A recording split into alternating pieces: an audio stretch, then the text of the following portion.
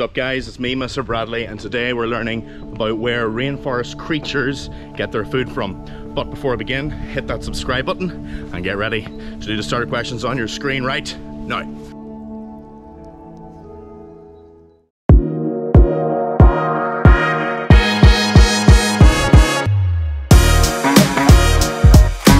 We're here in Con Dao National Park an island off of South Vietnam with a small tropical rainforest. And we're here to learn about where animals and creatures in the rainforest get their food from. Tropical rainforests are ecosystems that are teeming with life, but with an abundance of life comes competition for resources like food.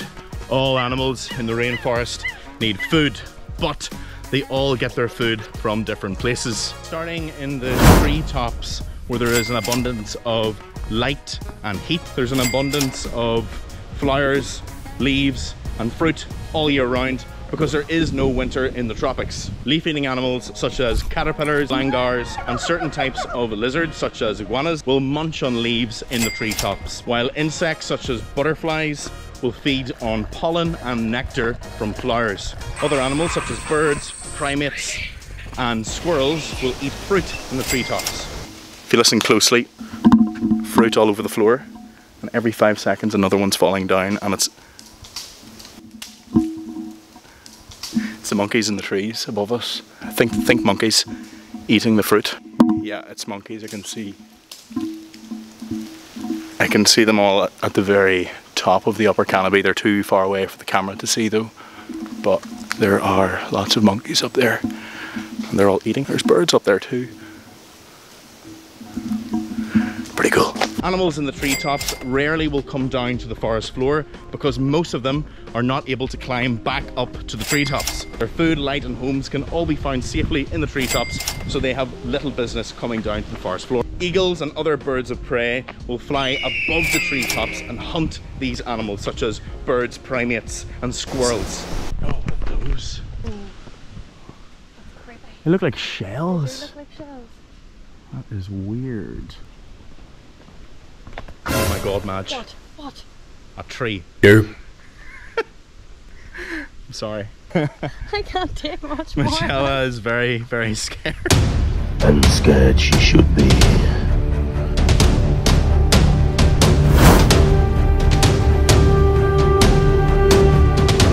Predators have specially adapted senses in rainforests such as excellent eyesight or if they're a nocturnal predator, very good hearing or sense of smell.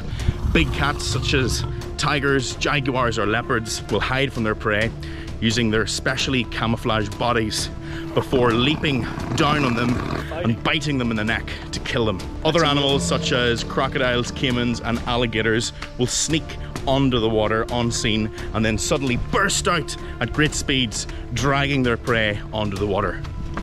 Just realised I can move the whole tree. This little bell here.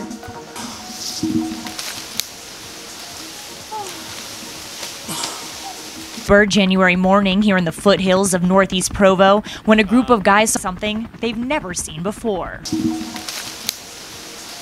Science. Other animals such as snakes, spiders and scorpions will use venom to kill or paralyze their prey before consuming them. Let's get out of here. Oh my goodness. That's uh it's a snake. I swear to God.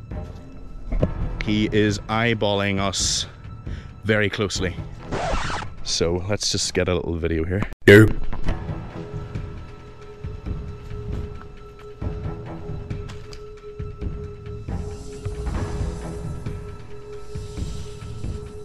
This snake is mildly venomous, mostly harmless to humans, except for very rare cases.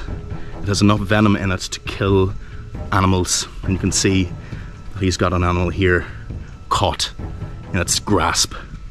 My guess is because this is a flying snake, it may have glided through the tree canopies and ambushed this unfortunate, perhaps it's a gecko, injected its venom into the creature, and now they've fallen to the forest floor where he's going to devour it. Seems to have been waiting for it to become paralyzed before it does that until I came along to disturb its meal. The snake is called a blue ornate flying snake and it can only be found here in Con Dao. This feels like a really rare thing to see. Other snakes such as the anaconda and boa constrictor don't use venom to kill their prey but instead will suffocate it by wrapping their bodies tighter and tighter around the thing they're trying to eat. They will then swallow them whole. I think I've just found a, a termite's nest or an ant's nest. So termites are tiny little insects that feed off of dead decaying wood, exhibit A, and they build nests in the rainforest. There's another one, and another one. There's loads of termite mounds around here. I just come across an ant's nest here. Termites, ants, scorpions, slugs, worms, and other bugs, as well as even fungus, are known as decomposers. The reason for this is they feed off of dead or decaying materials, such as dead plants, leaves, fruit, or even dead animals. By eating on these dead things that fall to the forest floor, these animals help dead plants and animals to decompose and become part of the soil, which is how nutrients are recycled in the rainforest. And so we've come to the end of our video. Don't forget to hit that subscribe button. Thanks for watching. See you next time.